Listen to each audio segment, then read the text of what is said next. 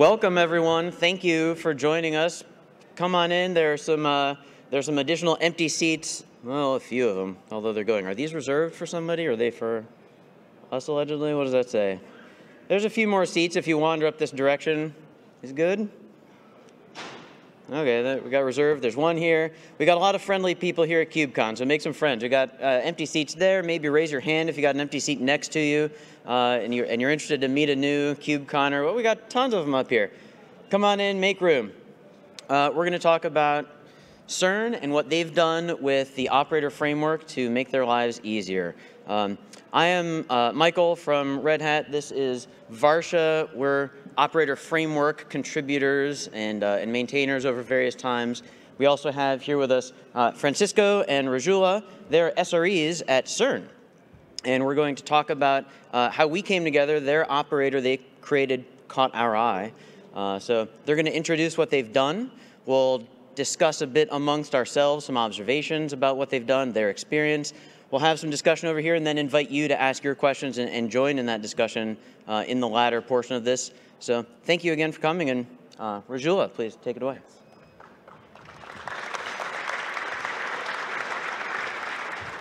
Uh, just a quick bit of intro about CERN. So we're the Center for European Nuclear Research.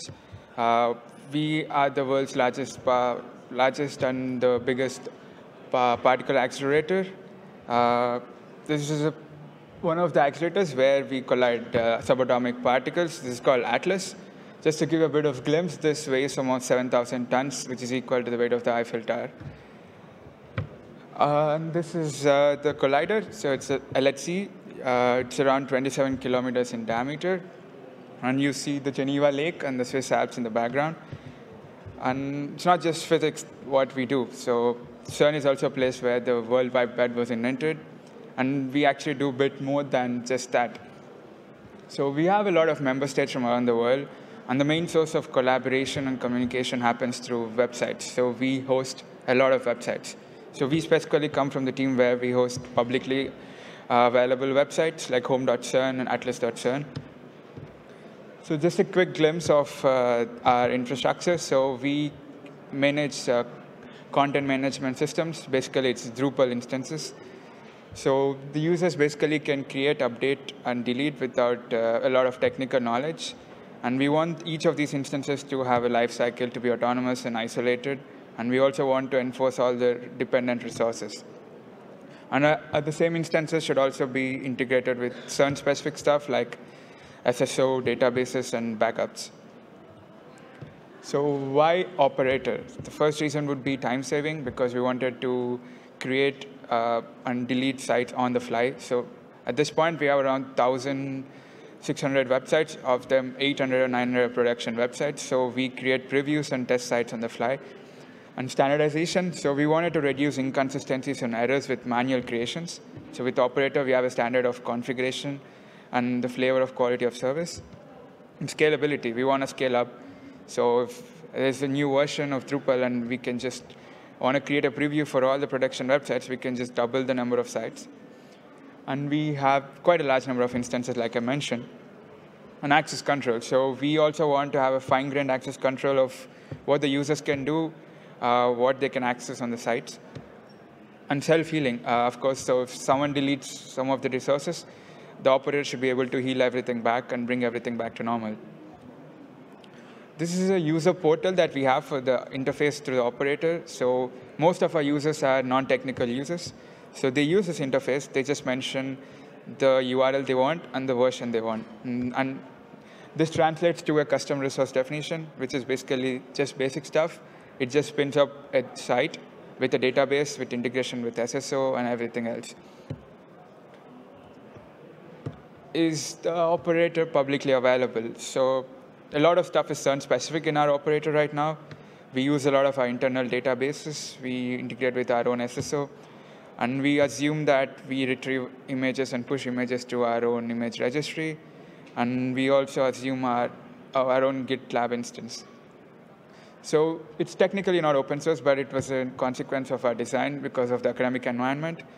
The code is publicly available, yet there are a lot of integrations that are coupled with the operator. So I'll hand over to Michael. Great. Well, thank you uh, for that introduction. So we've seen a little bit about what they've done, and um, so now Varsha and I have had some discussions with Francisco and Rajula. Uh, we've looked through their code, and uh, one of the things that really caught our eye and really led to this collaboration and this analysis that we're doing together here is just the fact that they've created an operator as real end users. They are the human operators themselves.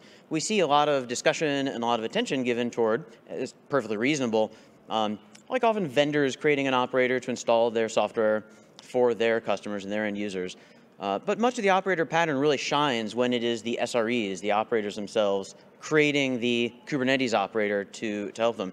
And uh, these guys even referred to this operator, you know, it's two of them maintaining this incredible number of websites and this infrastructure around it. The operator is the third member of their team and the only one who's working today. Uh, so, so that, that's really neat. And uh, it's, it's fascinating, I think, to get that perspective and that view on, on what it is like, what the experience has been like to develop and, and create an operator. So one of the things that, for me in particular, caught my eye is the multi-tenant aspect and the self-service aspect of this. So just for a brief moment on multi-tenancy, what this is, what this means to us is we have multiple users or groups of users, we would call tenants, right, sharing some pool of resources. Uh, probably most of us use like an email service and a calendar service and some kind of you know office document uh, product that's delivered to us over the internet as a, as a service, right? That those are all multi-tenant back-end kinds of systems. Tenants have discrete data that needs to stay separate from each other. So my email is separate from your email, is separate from somebody else's email, and we depend on the services to keep those things separate. There's a common characteristic of delivering software as a service, or in this case, some kind of a, a software in a self-service fashion. And we can write applications natively to handle that separation. Uh, but many vendors and software producers have older school or existing software that is single tenant, something like Drupal uh, or WordPress or some other kind of web application like that. Uh, or maybe something very domain specific. Maybe it's a, an accounting uh, software. I'm from the US, so taxes are on my mind right now. Uh, we just had that, that day go by. Uh, so if you have a single tenant web application or some service like that, you can still offer it in a self-service way, in perhaps even a software as a service subscription kind of way by using Kubernetes namespaces. Uh, and that is what namespace level tenancy is. Uh, every tenant that you have gets a unique namespace in a Kubernetes cluster, and we just deploy a copy of the application for them in that space. It may include a data store that's unique to them, it may not. Maybe there's a shared database management service that's, that's external or, or in some ways uh, joined. Um, but one way or another, we're enforcing that isolation with namespaces. This gives us a pretty easy on-ramp and an easy path to delivering uh, a single tenant application potentially in a self-service or even a SaaS model. Um, and, and that's what they've done here. So I think it's a really interesting example of that. Now I'll hand it off to Varsha. Uh, coming on to the next uh, observable part, uh, we all know operators handle a lot of complex applications, and there are a lot of moving parts too. Now, having metrics, alerts, and visualization is an important aspect, and they constitute what is known as operator observability. Now, collecting metrics helps us in providing a deeper insight about what an operator does and how is it behaving, whether it's behaving as expected. And having alerts helps SREs and cluster admins to make sure that cases do not turn to be critical so that we don't have to wake up in the night. And visualization helps us in getting a better understanding of these complex moving parts. Now, some of the key reasons why operator observability is important and something which we advocate while writing operators is one, to quantitatively understand the deployment success rate, in turn, the number of successful deployments of the operator workloads which are running on cluster. Two, having continuous health checks that uh, ensures that the operator is performing as expected at any instant of time. The third and the most important is resource utilization. So having an idea on the resource utilization on cluster by the operator helps in providing a better understanding of how the operator is performing and if there is anything which we as operator authors can do to improve the performance. There are a lot of metrics which uh, we have from controller runtime. We'll talk about that in a bit. But the other two important aspects are scaling and availability. And they measure how well an operator is able to scale, at what instant of time, at what workload. And availability is basically the percentage of time the operator and its workloads are available in action doing stuff which we want them to do. So we have a doc on the best practices on metrics related to operator SDK. It has in-depth details on how alerts should be set up, what are the labels, and other suggested format. Now, as operator SDK users, what does it provide to all with respect to monitoring metrics and visualization stuff? So there are three things which SDK provides us. Uh, the first one is the controller runtime metrics. So we all know that operator SDK uses a library which is known as controller runtime, and it exposes a set of controller or reconciler metrics to be specific. Now, what they are and how they are useful, uh, I'll briefly cover it in the next slide. But moving on to the second point is when you build an operator with SDK, you get a manifest which creates a service monitor.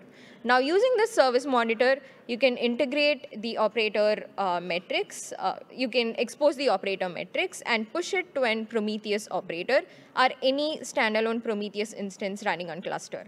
So the metrics are available at the endpoint. It's just up to us to scrape them, see them, and visualize them. And the third most interesting and beautiful aspect of this is the availability of a Grafana V1 Alpha plugin.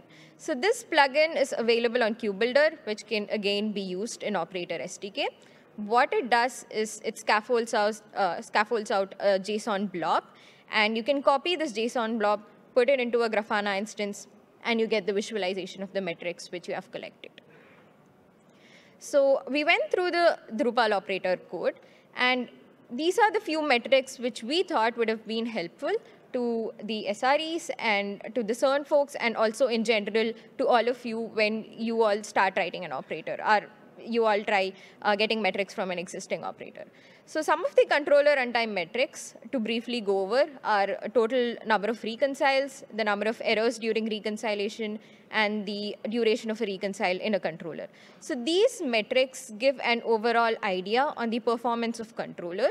They help in monitoring the health of the controller and identifying any issue or any request which is possibly blocking or taking a lot more time than expected. And the other two uh, metrics which we thought would have been useful are the available backups and the scheduled backups. But the idea is using the tools available, we can also extend them to create our own custom metrics. And this is something which we recommend. So uh, the recommendation is to have as many metrics as possible, which are custom to your application logic and having a visualization out of them to better understand the operator performance moving on to the internal discussion. Great. Let's have a seat. Yep. And please turn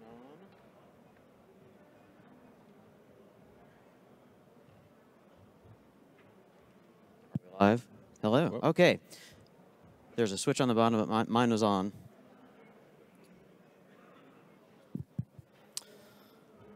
So we're going to have a bit of a discussion. Uh, this is fantastic. Thank you for the chairs. We were envisioning maybe some couches and some coffees or something like this. Um, so that's at least what we're what we're going for here. So we we thought about some questions and some um, maybe discussion and uh, a little more of the story of what the experience was like. So maybe could you guys just elaborate a bit to start with us on how did you get to the point of you wanted to use Kubernetes at all and, and write an operator? And what was that experience like of actually creating this thing from the ground up? Okay, so uh, first off, we were a bit lucky in the sense that we already had uh, another Kubernetes-based services around. Uh, it was a, a logically wise more simple, but it proved that we could have our CMSs um, on the same platform. So once we understood that uh, Kubernetes would be a place where we could put our Drupal websites, so our public websites. We then started the development of this operator, which is very logic heavy. Uh, it was written in Go, which was the one more flexible, more capable of being custom.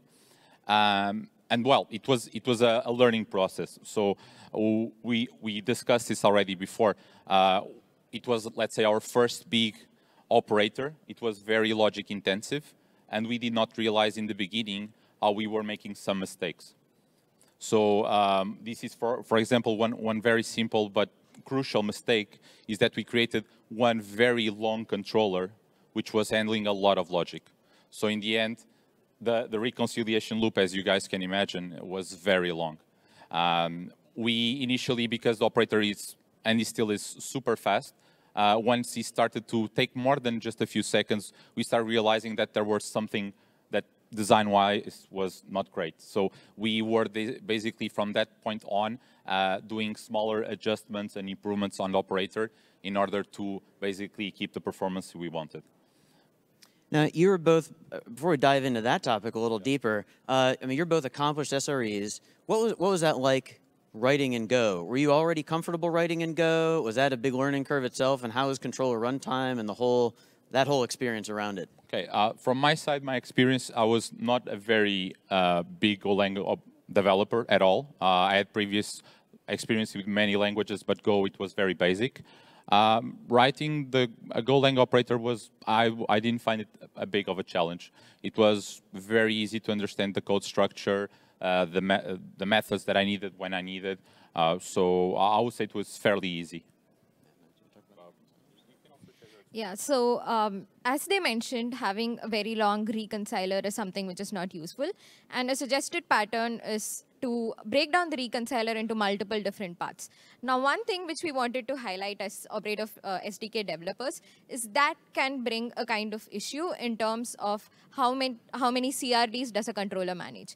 So the suggested pattern is to have just one CRD per controller.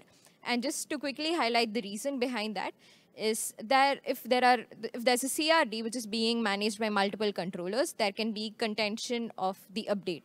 So multiple controllers can update a single field, and that can cause uh, issues uh, in terms of uh, causing race conditions, and debugging race conditions is definitely a, a major pain point, which we would suggest never to do so.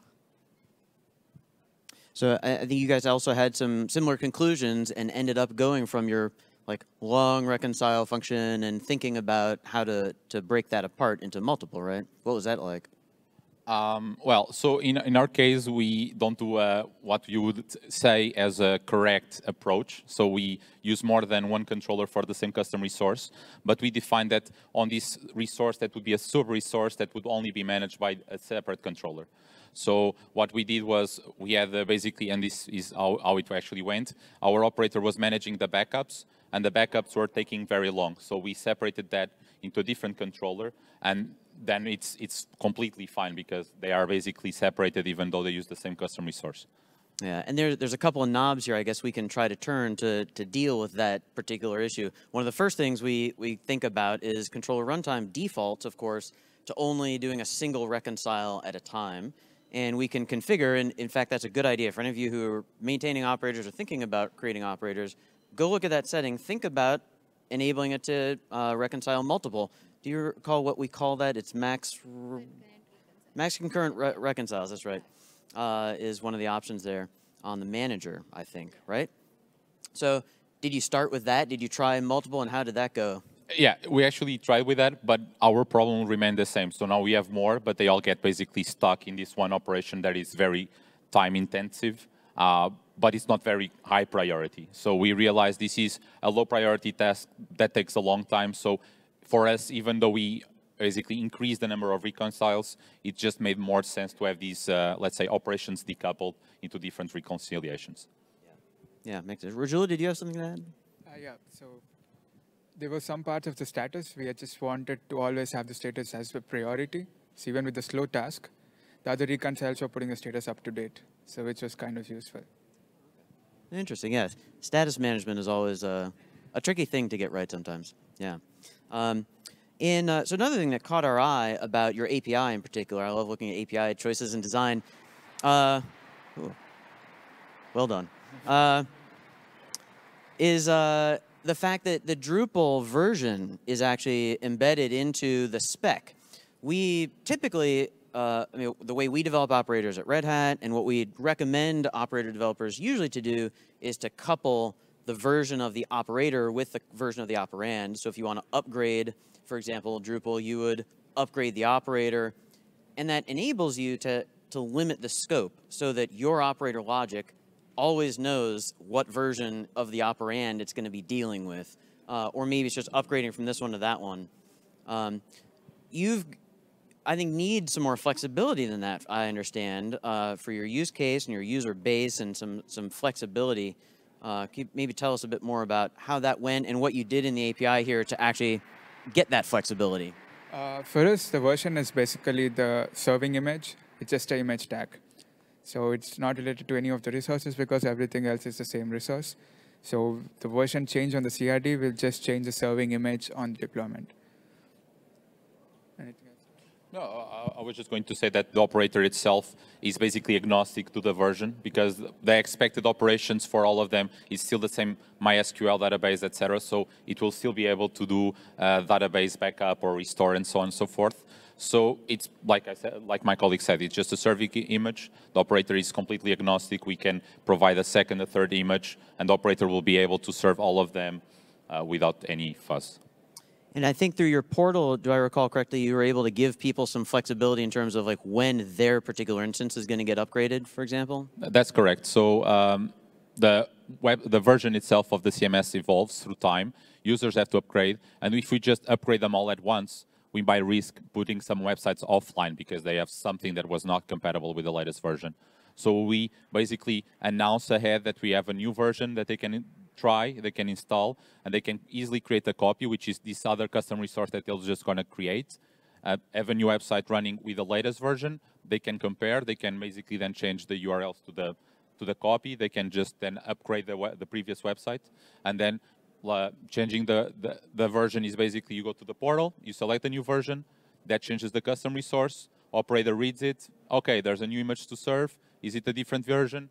So if it's a different version, I have these operations to do, and then it upgrades, and then it's back online, and like nothing was ever done. So me and my colleague had nothing to do.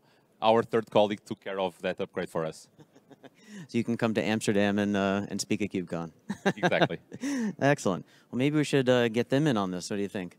Yeah. Uh, great. Well, let's. Uh, we have. Now it's your opportunity to ask some questions of uh, some CERN folks in Operator Framework, and uh, I've got already got a hand up here. Please go ahead.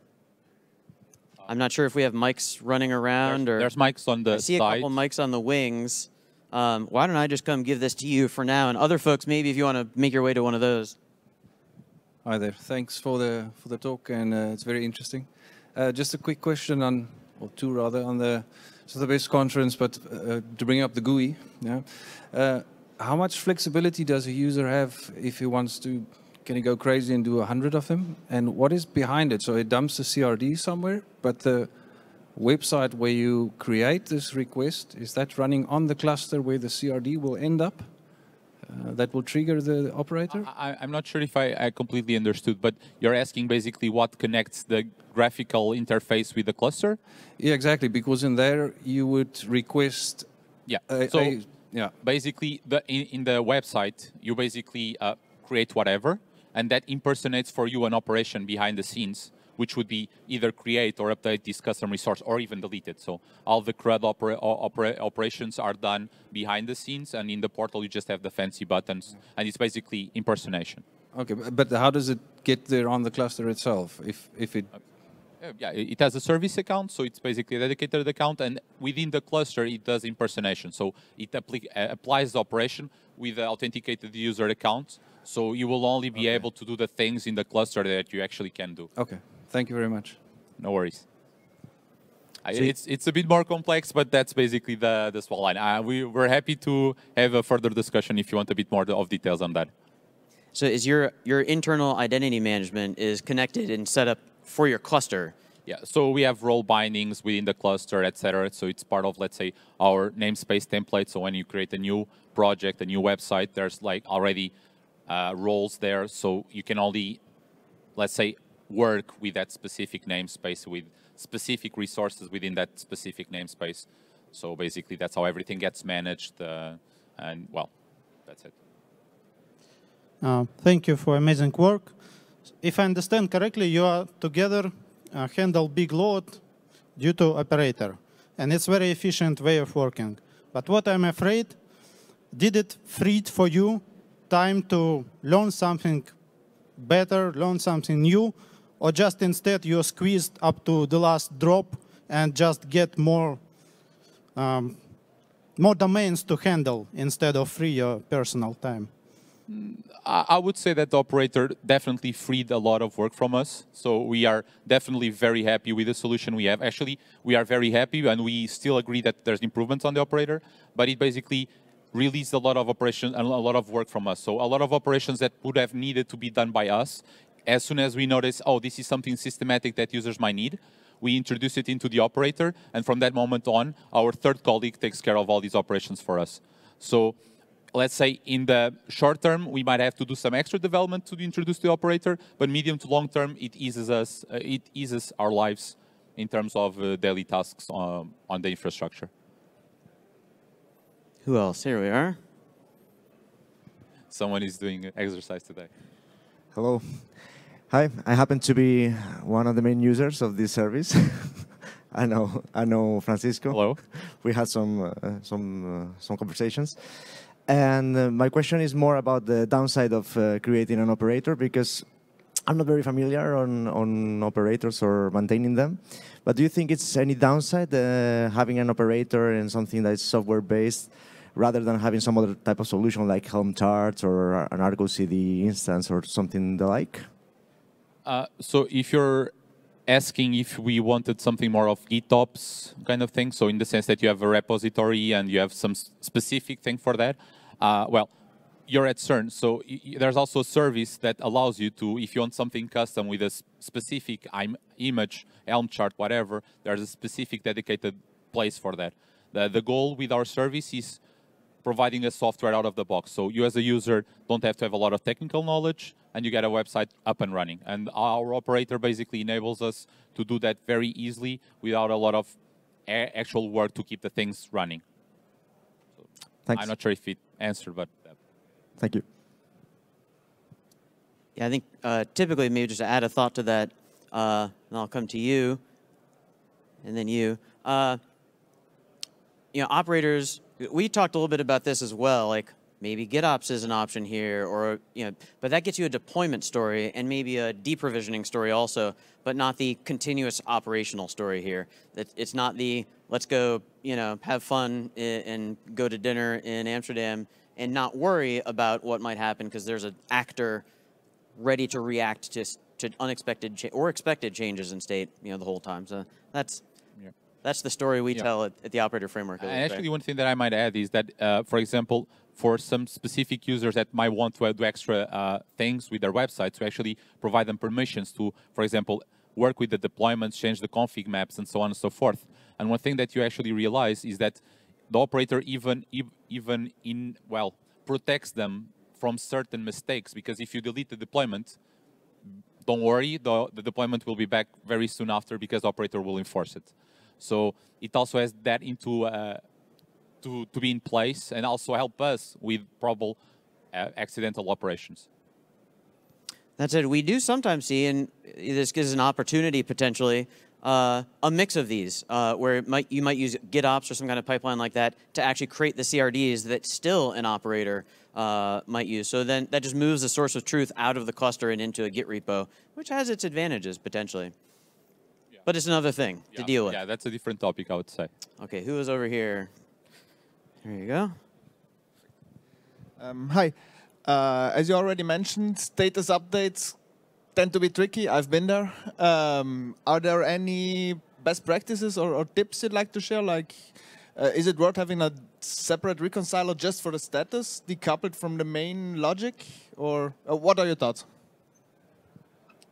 Varsha, do you have any thoughts on this first? it depends on it depends on the business logic.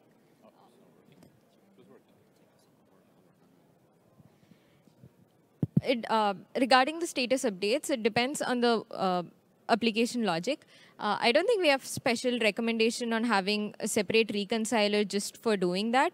But in general, what we suggest is to use status conditionals so that whenever a status is updated, the uh, when the operator updates the status, the third person who is looking at the operator status knows the reason behind what's happening. It's a way to communicate to the user on why a status has been updated, what is happening in the reconciler loop, and what is a cause of an error, a failure, or a success.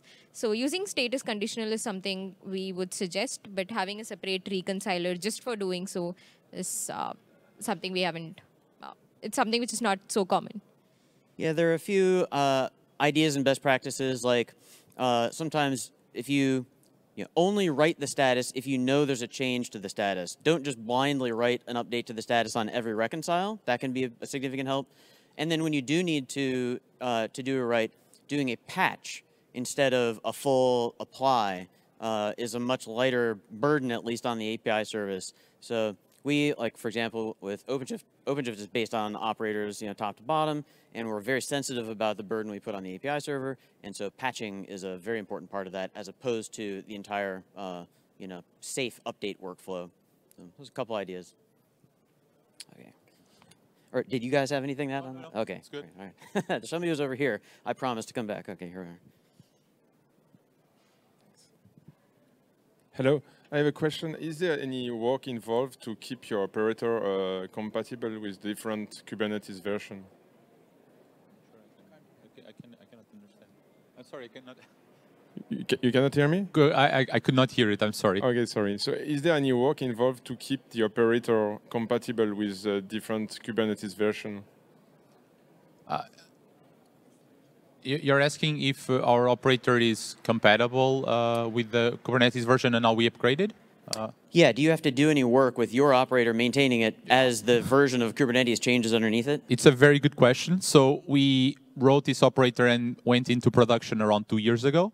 So two years ago, it's basically where we said, okay, this is good enough to start handling production workloads. And um, ever since, we have not upgraded operator. So the operator has remained more or less in the same version. We didn't have the need so far to upgrade it. Uh, we are actually planning on doing it in the upcoming months, but there's no actual need. So currently, and up until now, it has been very good with um, the upgrades of the cluster. So the cluster has been up- upgraded ever since with the latest version, but the operator itself remains in the same version and it's very compatible. So it's very easy to uh, keep and keep it running. Yeah. Also, the APIs we use. Just talk right into it. Uh, so the APIs we use haven't changed much in Kubernetes, like the client APIs. So it's totally fine that we are using an older client but a new server. Uh, well, for one last question for you two, if you were to maybe think about it, even perhaps in the near future, do this again, start from scratch, what, what would you do different? It's a very good question. So there's a few things that we guaranteedly would do differently. So we already learned the lesson about big reconcile loops. That would not happen again. Um, a, a second thing is metrics. So we are aware that the operator exposes metrics, but we never use them. So we some at some point realized our operator was slow, but we never had actually proper visualization of that. So one second thing is from day one we would proper we would definitely monitor our operator workload, see how it handles the workload, how fast it is, and what's going on with it. So these are definitely two, two big points about it that we would take into consideration. One third point is that we actually, in terms of uh, the architecture of the custom resource, looks really good, and we would probably keep the same, which is it's one custom resource to deploy uh, to deploy and handle everything about the software. That we would keep for sure because it, it works pretty well with us. It's one single point of information to provide everything for a user. Nice. Rajula, any thoughts from you too? I think mostly we will also focus on more testing, better unit testing, and also we don't use all the latest features that come with the operator SDK. So we don't have that much of time to actually focus on it. But if you have it, able to write a new one, I think we would start with that first and follow up with new features. Yeah. Very nice. Varsha, any, any parting thoughts? Yeah, probably testing, metrics, um, and yeah, the upgrade process are. I think they covered it all.